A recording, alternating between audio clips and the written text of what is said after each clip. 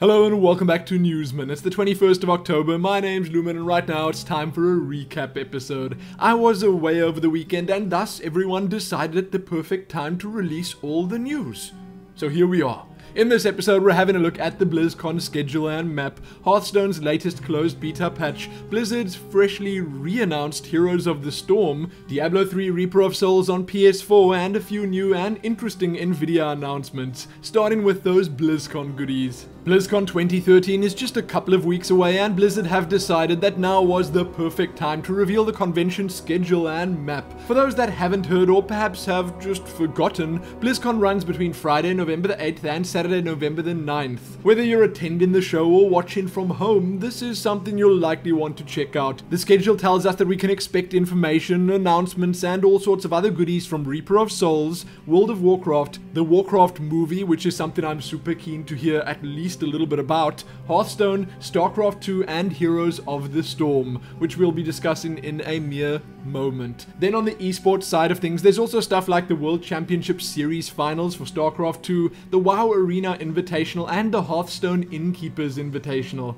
Read more below and be prepared. Now for a really quick bit of Hearthstone patch talk. Another patch has been released for the Hearthstone closed beta and this one is far less interesting than the first. It contains several quality of life improvements, additional bug fixes and Blizzard have modified the warrior card Battle Rage. Battle Rage now costs 2, down from 3, and now only counts friendly characters that's about it. A pretty big nerf, but I'm sure the warriors will survive. The amount of arcane dust you get for disenchant in Battle Rage has been increased temporarily, so anyone looking to drop the card after the nerf can do so without a loss. Read the full patch notes below and be sure to let me know if there's anything you think they've missed. In more Blizzard news, because, well, there's been a lot of it recently, it's been announced that the upcoming standalone free-to-play MOBA, formerly known as Blizzard All-Stars, and Blizzard Dota before that, will officially launch as Heroes of the Storm.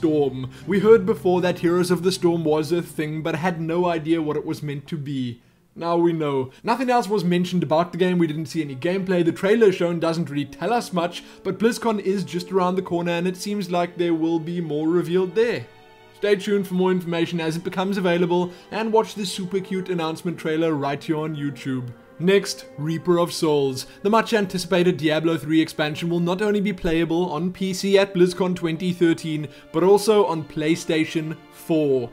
So yes, that said, Diablo 3 and Reaper of Souls are coming to PlayStation 4, and I think that's absolutely amazing. I recently gave Diablo 3 on PS3 a try, and I gotta say, I just get the feeling that the game was meant to be played on consoles. It controls amazingly well, the interface is slick, and most importantly, it's great to play with friends on the couch. I'm not sure if this means we'll see a simultaneous worldwide release for both PC and PS4, but either way, it's great to see Blizzard supporting their console playing fans. You can read more about this below, as with all the other news in this episode. Last up, the clever guys and girls from Nvidia have announced a slew of fun and fancy looking new goodies for all of us to look forward to. There's G-Sync, a method of reducing screen tearing and artifacts that'll apparently make us wonder how we ever managed with V-Sync for all those years. Shadowplay, a substantial new update to Nvidia's GeForce experience that's coming on October the 28th, which will allow us to pretty much use our GPUs as capture cards to record at full 1080p, 60 FPS, with little to no performance loss and at an incredibly high